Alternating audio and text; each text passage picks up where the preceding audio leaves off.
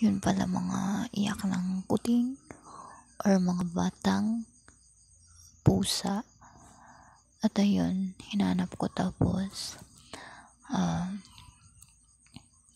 nakita ko dito pala sa isang kwarto namin na nilagyan ng mga gamit kasi nag-aayos kami ng bahay.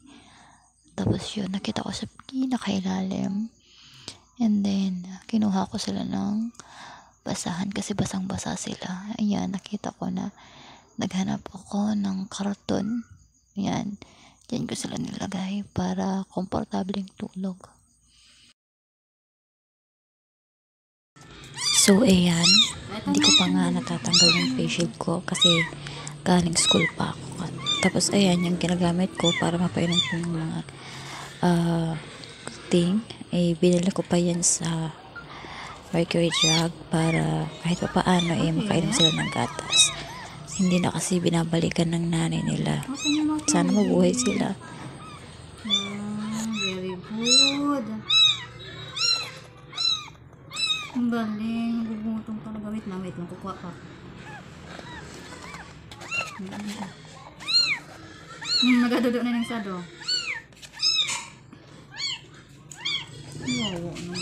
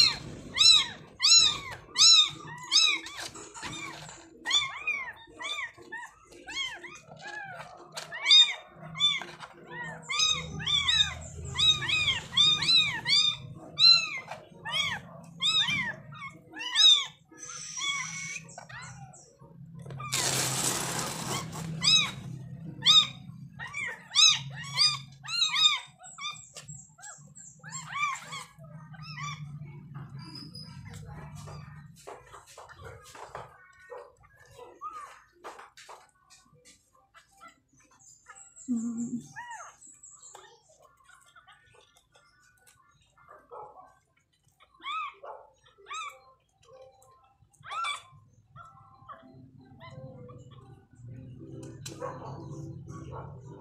Aray ko, aray.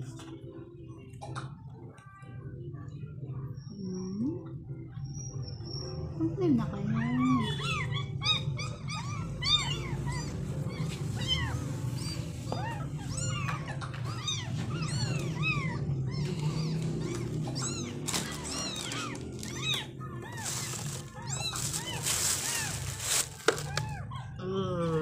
Ilaw na kayo. Oo. Wait lang, lock na.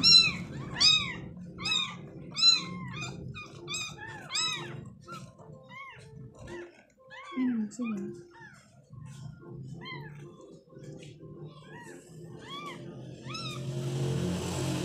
Ito na nga, huwag ka magalaw.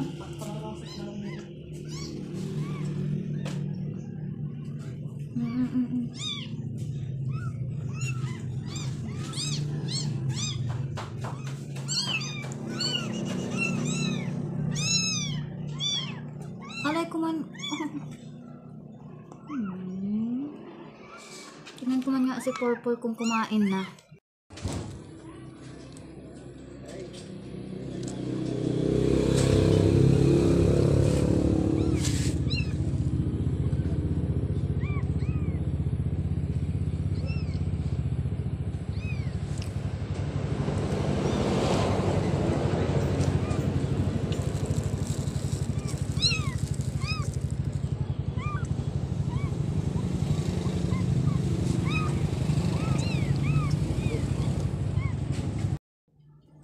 After ko silang mapainom ng gatas, ayan, tulog na sila. Tada!